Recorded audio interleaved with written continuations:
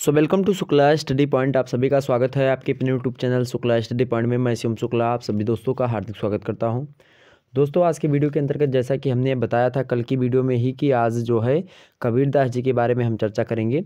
तो मैं हाजिर हूँ आप लोगों के समक्ष लाइव रात के आठ बज चुके हैं और अभी रात नौ बजे से आपकी पॉलिटिकल साइंस की लगभग एक प्रकार से बहुत ही महत्वपूर्ण, लगभग सौ से डेढ़ सौ प्लस जो है क्वेश्चन आंसर उसमें करवाए जाएँगे। तो आप लोग उसको ज़रूर देखें, ऑब्जेक्टिव टाइप के जो है मॉडल पेपर उसमें हम डिस्कस करेंगे। एक बार मैंने लिखित वाला मॉडल पेपर आपके सामने दे ही दिया है और अब ये जो है ऑब्जेक्टिव वाला मॉडल पेपर। तो दोनों आप लोग तैयार कर लो मतलब दोनों वीडियोज़ को लगभग दो तीन बार ज़रूर देख लेना, क्योंकि उसमें बहुत ज़्यादा जानकारी आपको दी जाएगी अभी, ठीक? तो अभी उसको भी आप लोग देखने का प्रयास करें, ठीक?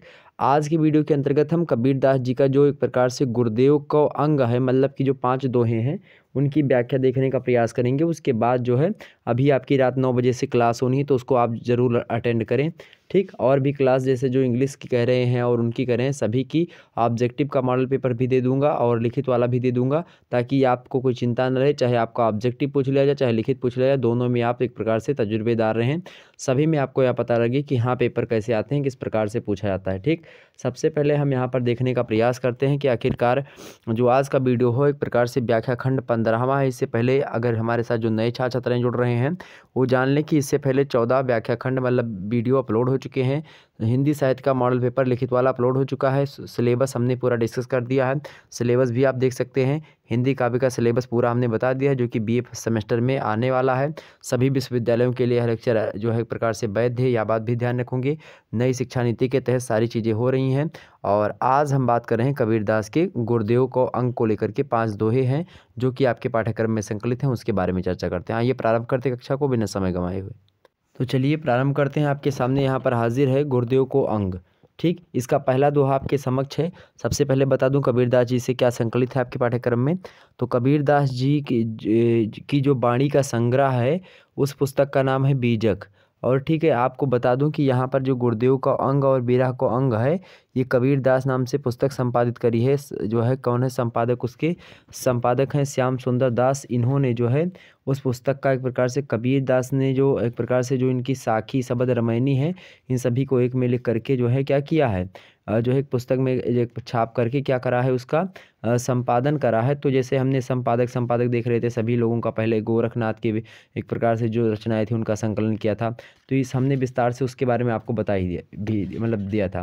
वैसे कबीरदास जी के बारे में अगर आपको बताना चाहूँ तो कबीरदास जी का जन्म जो हुआ था एक प्रकार से आप सभी को पता है कि हाँ जो है, उसमें हुआ था, जो है, प्रकट भी हुए थे। कभी कभी आपको जो है मतलब बहुत सारे कबीरपंथी बताते हैं। लेकिन कबीरदास का जन्म तेरह सौ अट्ठानबे ईस्वी में काशी में माना जाता है। मुसलमानों के अनुसार कबीर जो हैं, वो कौन है? कबीर के मतलब मुसलमानों के अनुसार कबीर के गुरु कौन थे? सूफ़ी फ़कीर शेख तकी थे। और कबीर के बारे में सारी बातें हमने आपको बता ही दी है। कबीर को बाणी का डिक्टेटर आचार्य हजारी प्रसाद द्विवेदी ने कहा था। कबीर सिकंदर लोधी के समकालीन थे। कबीर के जो है प्रकार से उन, उनकी रचना जो है मतलब बीजक में संग्रहित है। बीजक के तीन भाग हैं।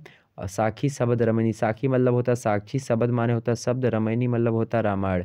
ठीक? आप सभी को पता होगा कबीर के माता का नाम था नीमा, पिता का नाम था नीरू, पत्नी का नाम था लोई और पुत्र का नाम था कमाल और पुत्री का नाम था क्या? कमाली। सभी को पता होगा इनकी मृत्यु जो पंद्रह सौ अट्ठारह ईस्वी में हो जाती है।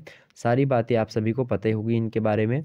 तो अब बहुत सारे लोग ये कह रहे हैं कि, सर जी, इसकी भी ऑब्जेक्टिव करवा दीजिएगा। बहुत कमेंट्स वगैरह आएँ तो मैं बिल्कुल करवा दूँगा। ठीक? इससे पहले बता दूँ, कबीर की भाषा को सधुक्कड़ी किसने कहा है? तो कबीर की भाषा को रामचंद्र शुक्ला जी ने कहा है कि इनकी भाषा कैसी है? सधुक्कड़ी है। कबीर जो है, निर्गुण धारा के प्रवर्तक निर्गुण धारा के ज्ञानाश्रयी के प्रवर्तक माने जाते हैं। तो और इनके संबंध में कहा जाता है कि मसी कागज़ छुयो नहीं, कलम गहो नहीं, हाथ। ये बात कबीर दास जी के संदर्भ में कही जाती है। तो ये बात आप ध्यान रखेंगे। तो इतनी चीज़ें क्लियर हुई आपकी? इतनी चीज़ें क्लियर हो गई।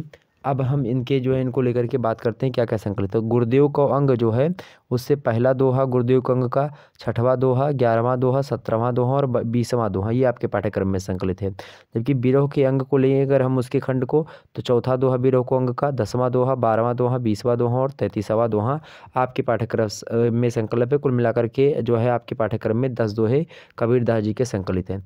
बात करते हैं इसकी व्याख्या गुरुदेव को अंग की। एक बार जितने भी लोग हमारे साथ जुड़े हुए हैं, फटाफट से वीडियो को लाइक कर दीजिए। जितने भी लोग देख रहे हो मेरे प्यारे दोस्तों, सभी लोग वीडियो को लाइक और शेयर कर दीजिए। फटाफट से से वीडियो को लाइक और शेयर कर दीजिए। चलिए प्रारंभ करते कक्षा को और जानते इसका अर्थ। सबसे पहले इसको पढ़ेंगे, सतगुर सामन को सगा, सोधी सही न दाती और हरजी सावन को हितु हर जन सही न जाती। कहने का मतलब यहाँ पर ये है सबसे पहले इन ऐसे आपको दोहा दिया जाएगा तो इसका आपको क्या लिखना पड़ेगा? संदर्भ लिखना पड़ेगा। तो संदर्भ आप कैसे लिखोगे इसकी ज़रा फटाफट से एक बार वीडियो को लाइक करें ताकि जो है और वीडियो में अगर आप कमेंट में अगर संदर्भ लिखना चाहें तो लिख भी सकते हो। जिसको पता होगा वो लिखेगा, जिसको नहीं पता होगा तो उसकी कोई बात ही नहीं है। तो कैसे लिखेंगे भाई संदर्भ? संदर्भ आप लिख सकते हैं कि प्रस्तुत पंक्तियाँ संत काव्यधारा के कबीरदास जी द्वारा रचित बीजक के साखी से ली गई हैं, ठीक? चाहे आप ऐसे लिख सकते हो इसको कि प्रस्तुत दोहा श्याम सुंदर दास मतलब कि श्याम सुंदर दास द्वारा संपादित कबीर दास के गुरुदेव को अंग से उद्धृत है, जिसके रचयिता स्वयं कबीर दास हैं। मतलब कबीर दास हैं, इतना लिख देंगे आप तो कोई दिक्कत की बात नहीं होगी। ये इंपॉर्टेंट है, ठीक? तो इतनी चीज़ें आप लिख सकते हैं, बड़े आसानी से चाहिए लिख दीजिए, चाहिए लिख दीजिए। दोनों हमने बता दिए, ये संदर्भ हो गया। प्रसंग क्या लिखेंगे? प्रसंग लिखेंगे कि व्याख्या दोहे में तत्व शोधक सदगुरु ईश्वर और भक्त की महिमा को प्रतिपाद्य विषय बनाया गया। प्रतिपाद्य मतलब उद्देश्य के तौर पर लिखा गया। मतलब या आप दूसरे तरीके से प्रसंग लिख सकते हैं कि इस दोहे में सदगुरु के महत्व एवं उनकी महिमा के साथ प्रभु भक्त को सभी प्राणियों में सर्वश्रेष्ठ बताया गया है। इस प्रकार से आप लिख सकते हैं। उसके बाद में व्याख्या आप करेंगे। व्याख्या तो आप सभी को पता होगी कि कैसे करनी है। व्याख्या देखें। सतगुर माने होता है गुरु। सतगुर माने क्या होता है? गुरु। सामान माने होता है सतगुर। समान को सगा समान माने होता है समान। ठीक है, समान माने क्या होता है? समान। को सगा मा, सगा माने होता है अपना या फिर वो चीज़ें। शोधी माने होता है तत्व या फिर शोधक, तत्व शोधक या फिर शुद्धि जिसको कहते हैं, उसे मतलब शोधक। सही माने होता है समान, दाती मतलब होता है देने वाला या फिर दाता जो दान वगैरह, ठीक? हितु माने होता है हितैषी। हितु माने क्या होता है? हितैषी और हरिजन माने क्या होता है? ईश्वर या ईश्वर या फिर ईश्वर का भक्त कोई हो तो हरिजन माने होता है ईश्वर का भक्त। हरि माने ईश्वर, जन माने उसका भक्त। अब इसकी व्याख्या समझते हैं हम। तो सतगुर समान को सगा मतलब सतगुर के समान इस जो है पृथ्वी पर कोई नहीं है, ऐसा कौन कह रहा है? पृथ्वी की बात नहीं करी करी गई है, लेकिन हाँ कहने का मतलब यही है कि महात्मा जो कबीर हैं, वो कहते हैं कि सतगुर के समान कोई जो है अन्य निकट संबंधी नहीं है। सतगुर समान को सगा मतलब सतगुर के समान कोई सगा नहीं है। सोधी सही न दाती। क्यों नहीं है सतगुर के समान कोई अपना सगा? आगे कहते हैं कि जो है, शोधक या साधु जैसा कोई दान करने वाला नहीं है। सोधी सही न दाती। ना तो सतगुर के समान कोई सगा है आपका मतलब गुरु के समान आपका कोई सगा नहीं है, ये कबीरदास जी कहते हैं। और साथ ही साथ कहते हैं कि सोधी सही नदा सोधी माने होता साधु। सोधी माने क्या होता है? मतलब एक प्रकार से साधु या फिर एक प्रकार से जो शोधक होते हैं, शुद्धि करने वाले मतलब कहने का मतलब साधु। तो साधु जैसा कोई शुद्ध करने वाला नहीं होता है या साधु जैसा कोई दान देने वाला नहीं है। साधु जैसा कोई दाता अर्थात दान देने वाला नहीं है, ऐसा कबीरदास कहते हैं कि सतगुरु के समान कोई नहीं है, सतगुरु के समान कोई सगा या फिर कोई अपना नहीं है, और सोधी सही न दाती मतलब साधु के इतना दान देने वाला कोई नहीं है। ठीक? साधु के समान दान देने वाला कोई नहीं है, ये बात है मतलब कोई दाता नहीं है। अर्थात सदगुर जो होता है, वो अपने अनुकंपा पूर्वक शिष्यों की विषय वासनाओं का शोधन करता है और अंधकार को दूर करके उनके जो है जीवन में क्या करता है? ज्ञान का प्रकाश करता है। तो इसीलिए कहा गया है, ये बात जो है इनके गुरु के लिए ही कही गई है। कि जो गुरु होता है, वह हृदय सच्चा गुरु ही क्या करता है? हृदय की शुद्धि करता है। इसलिए शोधी दई सही नदाती मतलब जो गुरु होता है, वो सगा होता है, सगा इसलिए होता है, चूँकि वह क्या करता है? सच्चा गुरु ही हृदय की क्या करता है? शुद्धि करता है। और यही बात यहाँ पर बताई गई है। और हृदय की शुद्धि अगर हो जाती है गुरु के द्वारा किसी शिष्य की तो यही क्या होता है? सबसे बड़ा दान माना गया है। तो यहाँ पर ये जो एक प्रकार से रह छुपा था कि गुरु के द्वारा दान मतलब जो गुरु होते हैं, अगर वो आपके हृदय की शुद्धि करवा दें गुरु अगर आपके हृदय की शुद्धि करवा दें तो वही सबसे बड़ा दान होता है। इसीलिए कहा गया शोधी सही न दाती। मतलब अगर आपकी शुद्धि हो जाती तो बहुत बड़ा दान एक प्रकार से समझो गुरु का हो गया। ये बात जो है, यहाँ पर कबीरदास जी समझाते हैं। आगे कहते हैं कि, हरजी समान को हितु। हरजी माने होता है, हमने क्या बताया था? हरजी माने आपका एक प्रकार से हरजी समान क्या कहा गया?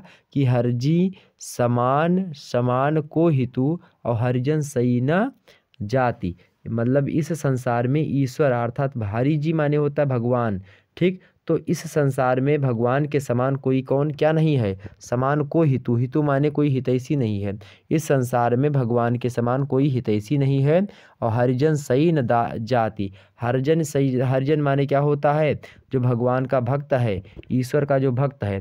कहने का मतलब ये है यहाँ पर कि भगवान के समान कोई हितैषी नहीं है, क्योंकि वह बिना किसी भेदभाव के सर्वहितकारी है। हरिजन सही न जाति मतलब हरिजन जो मतलब जो भगवान के एक प्रकार से जो भक्त हैं भक्तों में भगवान जो होते हैं, सबको समान हित करने वाले होते हैं, समान हित दोने वाले होते हैं, सही न दाति मतलब सभी, सही न जाति। मतलब जो है कोई जाति नहीं होती है मतलब ईश्वर की सेवा करने से बढ़कर कोई जाति नहीं है, यहाँ पर ये बताने का प्रयास किया गया है। और कभी जो है जन्म से जो है जन्मना जो उच्चता है ब्राह्मणों की सर्वश्रेष्ठता है, उसको यहाँ पर नकारने का प्रयास करता है कि यहाँ ब्राह्मण जो उच्च हैं, उसको यहाँ पर जो है कबीरदास नकारते हुए कहते हैं। कि इसमें कोई जाति पाति का एक प्रकार से वो नहीं है। हरिजन मतलब भगवान के जो है लिए सभी समान है। भगवान के जो है दरबार में हरिजन सही न जाति, भगवान जाति पाति नहीं देखते भगवान के लिए। सभी समान है, भगवान के मतलब भगवान सभी का हित करने वाले हैं, कहने का मतलब यहाँ पर ये है। तो इस जो दोहे की व्याख्या आपके समझ में आ गई होगी कि सतगुरु के समान कोई सगा नहीं, सतगुरु समान को सगा मतलब गुरु सतगुरु मतलब गुरु के समान कोई सगा नहीं है, सोधी सही न दाती, साधु के समान कोई दान देने वाला नहीं है। साधु का तात्पर्य यहाँ पर गुरु से ही आता है कि गुरु अगर आत्मशुद्धि करवा दे तो वही सबसे बड़ा दान होता है। हर जी समान को ही तो भगवान के जैसा कोई हितैषी नहीं होता है। हरिजन सही न जाति मतलब भगवान जो होते हैं, कहने का मतलब ये है कि सभी में हितकारी हैं क्योंकि वह बिना भेदभाव के क्या करते हैं? सबका हित करते हैं। तो हरिजन के समान मतलब भगवान के समान कोई जो है, कहने का मतलब यह है कि प्रभु जो हैं, भक्त सभी जातियों में सर्वश्रेष्ठ होता है। चाहे वो कोई भी जाति हो जो हरिजन सही न जाति मतलब भगवान का जो भक्त होता है, वह हर कारण में क्या होता है? सबसे बड़ा होता है। कहने का मतलब यहाँ पर ये हो गया। ठीक तो इतनी चीज़ें व्याख्या आपके समझ में आ गई। अब इस दोहे की अगर विशेष में आप लिखना हो, सबसे पहले क्या लिखेंगे कि इस दोहे में किस अलंकार का प्रयोग है? सतगुर, सामन, समान, को सगा, सोधी सही नदात सात सात, सा वर्णों की आवृत्ति मतलब यहाँ पर कौन सा अलंकार? अनुप्रास अलंकार। अनुप्रास के साथ साथ यहाँ पर वक्रोक्ति अलंकार की भी झलक दिखाई पड़ती है। इसके साथ ही साथ ये लोकात्मक भाषा का प्रयोग किया गया, सहज भाषा का प्रयोग किया गया है। ठेठ कबीर शैली में ब्राह्मण की उच्चता को नकारा गया है, ये बात यहाँ पर भी आप लिख सकते हैं। ठीक? और इनकी पंक्तियों में देखेंगे तो कौन सा गुण है? यहाँ पर जो है, इस दोहे में प्रसाद गुण आपको साफ़ साफ़ दिखाई पड़ता है। कौन सा गुण है भाई? प्रसाद गुण यहाँ पर दिखाई पड़ता है। सधुक्कड़ी भाषा का प्रयोग है। ठीक? ये चीज़ें आप लिख सकते हैं बड़ी आसानी से। और इस दोहे में सच्चे गुरु, साधु, ईश्वर और भक्त को विशेष महत्व दिया गया है। ठीक? मतलब कि यहाँ सतगुरु समान को सगा मतलब सतगुरु के समान कोई सगा नहीं, साधु के जैसा कोई दानी नहीं है मतलब देने वाला नहीं है, भगवान के समान कोई हितैषी नहीं है और जो भगवान का भक्त होता है, वो जो होता है सभी जातियों में क्या होता है? उच्च होता है। बस इतनी सी व्याख्या थी, वो जितनी सारी चीज़ें हमने खूब बताई। बहुत ज़्यादा अगर डीप में जाओगे इनके तो बहुत ज़्यादा जो है रहस्यवादी हैं ये ना कबीर तो इसीलिए ज़्यादा दिक्कत होने लगती है। कोई दिक्कत की बात नहीं, आपके समझ में आ गया होगा। आएगा लिखने के लिए तो इतना लिख देंगे, आपको नंबर मिल जाएगा। आगे देखते हैं दूसरा दोहा। दूसरा दोहा है कि सतगुर लई कमांड करी और वाहण लागा तीर, एक जू वाह प्रीत सु भीतर रहा शरीर। अब इस दोहे की व्याख्या देखिए सतगुर लाई कमाण करी वाहण लागा, तीर एक जु बाहि प्रीत सु भीतर रहा शरीर। सबसे पहले आप इसका संदर्भ लिखेंगे। संदर्भ क्या? कि प्रस्तुत दोहा श्याम सुंदर दास द्वारा संपादित कबीरदास के गुरुदेव को अंग से उद्धृत है जिसके रचयिता कबीरदास हैं। इतना लिख देंगे, उसके बाद में प्रसंग में लिखेंगे कि गुरु द्वारा दिए गए ज्ञान की जो है बाण से दे मतलब बाण से देते हुए कबीरदास जी कहते हैं। गुरु द्वारा दिए गए जो ज्ञान है, ज्ञान की बाण से देते हुए कबीरदास जी कहते हैं। ज्ञान की बाण का तात्पर्य यहाँ पर यह है कि जो एक प्रकार से तुलना की गई है यहाँ पर, अभी हम समझते हैं, ठीक, कि क्या इसकी व्याख्या हो सकती है।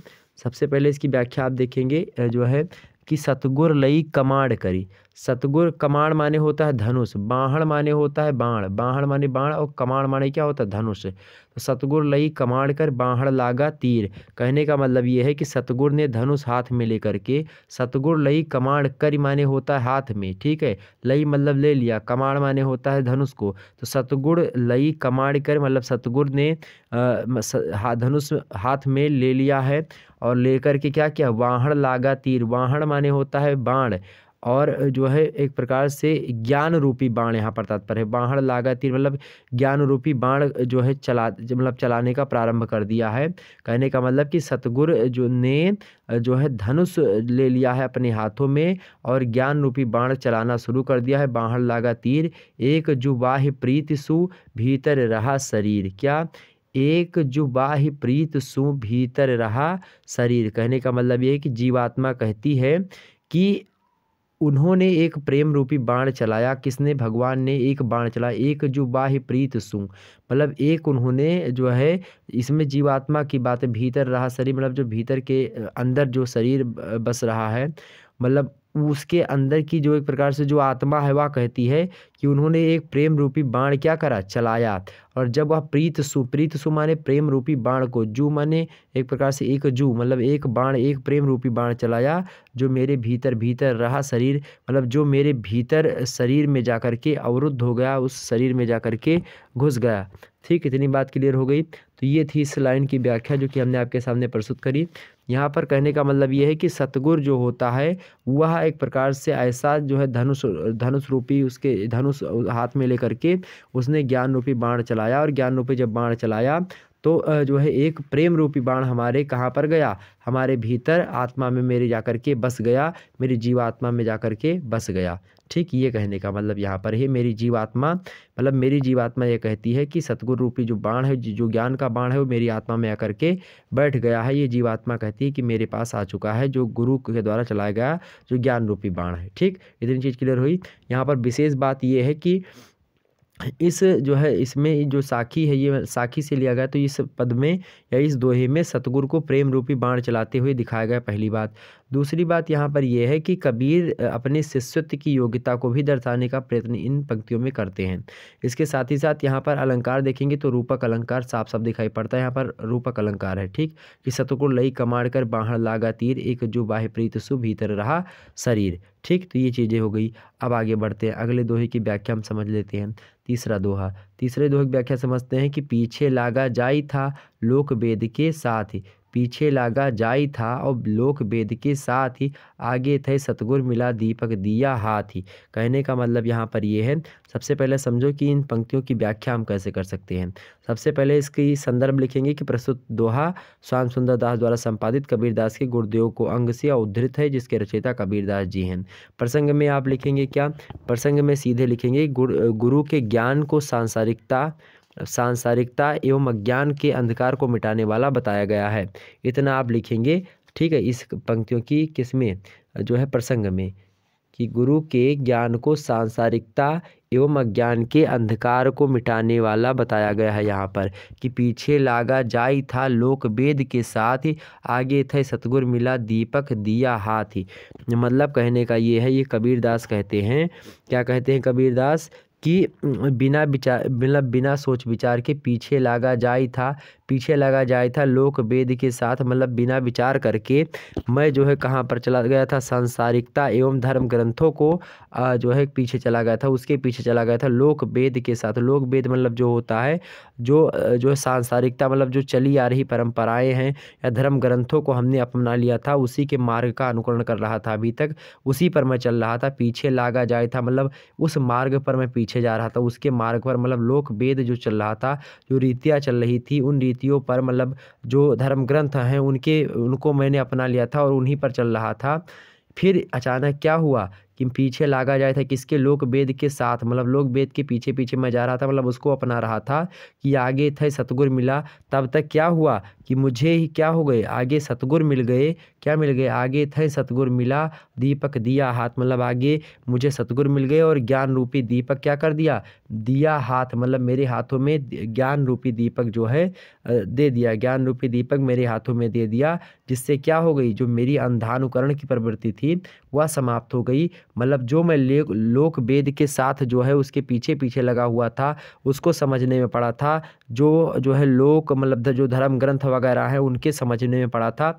वो सब जो है मैं समझ मतलब एक प्रकार से छोड़ करके फिर जब जब मुझे जो है, जब सतगुरु मिल गए तो उन्होंने जो है ज्ञान रूपी दीपक हमारे हाथ में दे दिया और मैं जो है उस दलदल से बाहर निकल गया, जिसमें मैं जाना फंस फंस रहा था एक प्रकार से। तो ये कबीर कहते हैं, ठीक? तो यहाँ पर ये चीज़ इन्होंने कहा। इसके विशेष में क्या लिख सकते हैं कि कबीरदास जब उनकी कबीरदास की गुरु से भेंट हो जाती है, उससे पहले की स्थिति के बारे में यहाँ पर बताया गया है। दूसरी बात यह है कि सतगुरु के ज्ञान रूपी दीपक को पा लेने के बाद कबीर ने स्वानुभूति का महत्व समझा और उसी का चित्रण इन पंक्तियों में उन्होंने किया है कि गुरु के मिल जाने से बहुत बड़ा बोझ एक प्रकार से टल गया। जो वो धर्म ग्रंथों में ढूंढते, जो ज्ञान उनको प्राप्त होता, वो जो है गुरु के द्वारा प्राप्त हो गया उनको डायरेक्ट। मतलब कहने का ये है कि आप जो मैं यहाँ पर पढ़ा रहा हूँ आपको अभी यही चीज़ आपको किताब से पढ़नी पड़ती या आपको अलग से कहीं पर पढ़नी पड़ती, गाइड वगैरह से आप पढ़ते तो शायद उतने अच्छे तरीके से आपके ना समझ में आती। और मतलब जो सारी चीज़ें आपको पढ़नी पड़ती, बहुत सारी चीज़ें पढ़नी पड़ती, तब आपको एक एक एक ही जगह पर तमाम सारी बातों का पता चलता। अब यहाँ पर क्या है कि मैंने जो है इसको आपको अपने हिसाब से समझाने का प्रयास किया तो इसी गुरु जो होता है कैसे समझाता है? मतलब वह जैसे धर्म ग्रंथ बहुत ज़्यादा जैसे गीता हो गए, और उसके बाद में रामायण, महाभारत बहुत सारे ग्रंथ हैं, चार वेद, छः, सात अट्ठारह पुराण और उपनिषद स्मृति, बहुत सारी चीज़ें हैं। हिंदू धर्म में, मुस्लिम धर्म में कई चीज़ मतलब कुरान वगैरह हैं और उसमें बाइबिल है, तमाम सारी पुस्तकें हैं। अब इन सभी पुस्तकों के चक्कर में कबीर कहते हैं कि अगर मैं पढ़ा रहता तो बहुत ज़्यादा पीछे हो जाता और मुझे गुरु मिल गया और गुरु ने मुझे सारा ज्ञान दे दिया। इन सभी चीज़ों के बारे में या फिर जो भगवान है जिसके बारे में जो धर्म ग्रंथ है उनको पढ़ा जाता है कि भगवान कैसे प्राप्त हो, मोक्ष को प्राप्ति कैसी हो तो वो सारी चीज़ें हमको गुरु से प्राप्त हो गई। तो ये कबीर यहाँ पर कहते हैं। तो इतनी चीज़ें क्लियर हो गई, आगे बढ़ते हैं। अगले दोहे की व्याख्या देखिए हम सभी लोग। अगला दोहा है कि चौसठ दीवा चौसठ दीवा जारी कर चौदह चंदा माही और तीह घर किसको चाणिनो और जिह घर गोविंद नाही। कहने का मतलब ये है कि चौसठ दीवा जाई कर जाई करी। इसका मतलब यहाँ पर सबसे पहले आप जो है क्या लिखेंगे? जो है यहाँ पर संदर्भ कैसे लिखना आएगा आपको? संदर्भ लिखे, क्या लिखेंगे कि प्रस्तुत दोहा श्याम सुंदर दास द्वारा संपादित कबीर दास के गुरु, गुरुदेव को अंग से उद्धृत है, जिसके रचयिता कबीर दास जी हैं।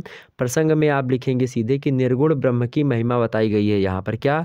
निर्गुण ब्रह्म की महिमा बताई गई है। सीधे लिखेंगे, चौसठ दीवा जायकर। चौंसठ माने होता है कहने का मतलब ये है कि यदि आप अपने घर में चौंसठ दीपकों को एक साथ जला दिया जाए। किसी घर में या आपके घर में चौंसठ दिया को एक साथ जला दिया जाए। चौंसठ दीवा जारी कर चौदह चंदा माही।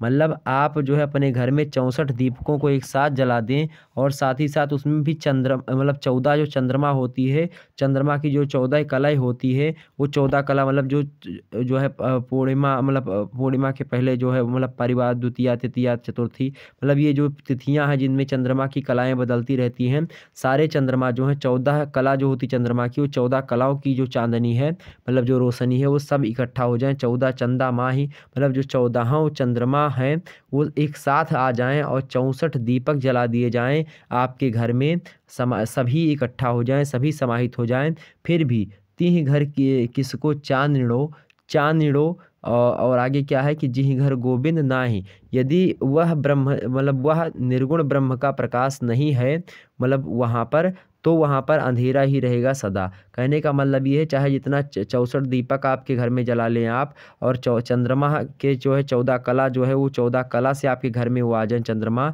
उनकी रोशनी को सभी को मिला लिया जाए तो तीन घर किसको चांदड़ो मतलब उसके घर में दीपक नहीं हो सकता। जिह घर गोविंद है मतलब जिसके घर में गोविंद अर्थात जो है गुरु नहीं होते हैं, निर्गुण ब्रह्म नहीं होते हैं मतलब बिना निर्गुण ब्रह्म के उस घर में अंधेरा नहीं होगा मतलब उजाला नहीं होगा। कहने का मतलब ये है कि चौंसठ दीपक आप क्यों ना जला लें, आप चौदह चंद्रमा को अपने घर में बैठा लें, लेकिन अगर आपके घर में भग मतलब भगवान का ये नहीं है मतलब निर्गुण ब्रह्म आपके घर में नहीं है, निर्गुण ब्रह्म का प्रकाश आपके घर में नहीं है तो आपका घर तीह घर किस मतलब किसको चांदड़ो चांदड़ो मतलब अंजोरा या वहाँ पर नहीं रहेगा, वहाँ पर हमेशा क्या रहेगा? अंधकार रहेगा। कहने का मतलब ये है कि बिना भगवान के, बिना निर्गुण के मतलब जो हैं, वो जो है क्या नहीं होगा? उजाला नहीं होगा उस घर में, चाहे जितना चौदह कला से चंद्रमा मतलब दिखाई पड़े और चाहे आप चौसठ दीपक क्यों ना जला लें। ये कबीरदास यहाँ पर बताने का प्रयास करते हैं। इस साखी में बात की जाए तो यहाँ पर घर का आशय शरीर से है। यहाँ पर घर मतलब जो एक प्रकार से चौदह दीवा जारी कर, चौदह चंदा माही और तीन घर माने यहाँ पर जो है, किससे है, शरीर से तात्पर्य लिया गया है कि उस शरीर में ज्ञान कभी संचलित नहीं होगा, जिसमें एक प्रकार से निर्गुण जो है, एक प्रकार से जो है, धारा नहीं, निर्गुण ब्रह्म का प्रकाश नहीं है, उसमें ज्ञान का एक प्रकार से प्रकाश नहीं जलेगा। ठीक, यहाँ पर दूसरी बात क्या है कि किसी व्यक्ति को चौंसठ कलाओं और चौदह विधाओं का ज्ञान हो अगर किसी व्यक्ति को यहाँ पर जो चौदह जो चौदह यहाँ पर लिया गया है, चौदह चंदा माही चौदह विधाएँ होती हैं तो उन चौदह विधाओं का किसी व्यक्ति को ज्ञान हो मान लेते हैं। और चौंसठ दीवा मतलब जो चौंसठ चीज़ें हो चौंसठ कलाएँ होती हैं मनुष्य की तो क्यों क्यों ना चौंसठ कलाओं से व्यक्ति जो है एक प्रकार से हो और चौदह विधाओं से वो ज्ञानी हो वह व्यक्ति। लेकिन जब तक उसको ईश्वरीय प्रकाश का जो है एक प्रकार से ईश्वरीय प्रकाश नहीं मिलता, तब तक वह एक प्रकार से निर्मूल्यवान होता है मतलब मूल्यवान नहीं होता है। कहने का मतलब ये है, आप कितने ज्ञानी हो जाएँ, लेकिन ज्ञान आपका जो है एक प्रकार से तब जो है उजागर होगा, तब सभी के सामने आएगा। जब आपके पास जो है भगवान का साथ होगा, कहने का मतलब यह है कि आप अपने हिसाब से ज्ञानी नहीं होते हैं। आपका ज्ञान बेकार है जब तक भगवान जो है एक प्रकार से आप स्मरण ना करें या फिर भगवान आपके साथ ना हो। कहने का मतलब यह है कि किसी व्यक्ति, कोई व्यक्ति हो, चाहे चौंसठ कलाओं और चौदह विधाओं का ज्ञान ही क्यों ना रखता हो, लेकिन उसमें ईश्वरीय प्रकाश का अभाव है तो वह निर्मूल्यवान है। और जैसे ही इस ईश्वरीय प्रकाश का एक प्रकार से पूर्ति हो जाती है, वह व्यक्ति मूल्यवान हो जाता है। ठीक तो ये बात यहाँ पर है। कबीरदास जी ने इन पंक्तियों में ज्ञान और भक्ति के अभिन्नत्व जो है अभिन्न तत्व को दर्शाने का प्रयास किया है। तो ये तमाम सारी चीज़ें आप विशेष में डाल सकते हैं। आगे देखते हैं और आज जो है पाँचवा दोहा। पाँचवा दोहा देखिए आप सभी लोग। पांचवा दोहा आपका क्या है कि माया, दीपक, नर, पतंग, भ्रम भ्रम, इवे, पंडित और कहा है कबीर, गुर, ज्ञान थे एक आध उबरंत माया दीपक नर पतंग भ्रम भ्रम इवय पंडित और कहे कबीर गुर ज्ञान थे एक आध उबरंत कहने का मतलब यहाँ पर यह है इसका। यहाँ पर जो है संदर्भ तो वही रहेगा आपका जो हमने पहले बता दिया कि हाँ संदर्भ क्या है इसका? संदर्भ तो हमने आपको पहले ही बता दिया कि हाँ प्रस्तुत दोहा सुंद श्याम सुंदर दास द्वारा संपादित कबीर दास से, कि गुरुदेव को अंग से उद्धृत है, जिसके रचयिता कबीर दास जी हैं। प्रसंग में आप क्या लिखेंगे? प्रसंग में लिखेंगे कि माया की उपमा यहाँ पर किससे की गई है? दीपक से की गई है। और मनुष्य को क्या बताया गया है? पतिंगा बताया गया है। पतिंगा माने जो एक प्रकार से जो कीड़े होते हैं, जो जो है आसपास एरिया में उड़ा करते हैं, जब दीपक जलता है तो। उसी को पतिंगा कहा जाता है। ठीक, एक बार जितने भी लोग हमारे साथ नए जुड़ रहे हैं, फटाफट से वीडियो को लाइक और शेयर कर दीजिएगा ओके समझो यहाँ पर मेरे भाई, समझो यहाँ पर कि माया, दीपक, नर, पतंग, भ्रम भ्रम इवय पंडित, कहा, कबीर, गुरु, ज्ञान, थे, एक, आध उबरंत भ्रम माने होता है, भ्रम उबरंत माने होता है उबरना या एक प्रकार से फलागम को प्राप्त होना। यहाँ पर समझें। व्याख्या, माया, दीपक, नर, पतंग। कह कबीर दास जी कहते हैं कि माया, दीपक की तरह है। क्या? माया दीपक है। माया क्या है? दीपक की तरह है और नर किसके समान है? पतंग के समान मतलब पतंगे के समान है। कबीरदास जी क्या कहते हैं कि माया दीपक की तरह है और मनुष्य किसकी भांति है? पतंगे की भांति है। भ्रम भ्रम भ्रम भ्रम इवय पंडित।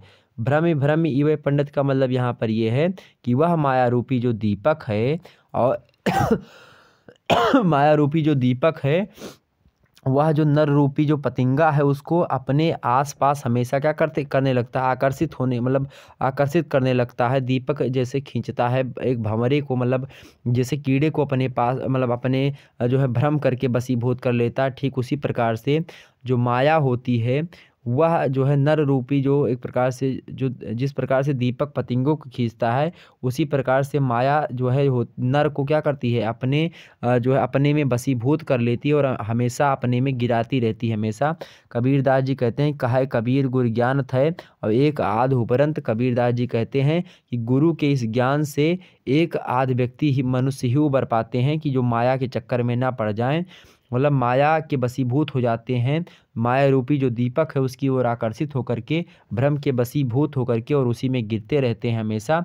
भरम भरम वह पंडित मतलब उसी में हमेशा घूम घूम कर गिरते रहते हैं और उसी में रहते हैं, कबीरदास कहते हैं कि गुरु के ज्ञान से क्या होता है? गुरु के ज्ञान जब जिसको गुरु का ज्ञान प्राप्त हो जाता है, वही व्यक्ति जो बहुत सारे एक आध उपरंत मतलब एक आधे में एक आधे मतलब कि एक प्रकार से बहुत रेयर से रेयर केसों में कोई व्यक्ति इस माया से उबर पाता है, सभी लोग मोह माया के चक्कर में पड़े रहते हैं। कबीरदास यहाँ पर इन बातों को कहने का प्रयास करते हैं।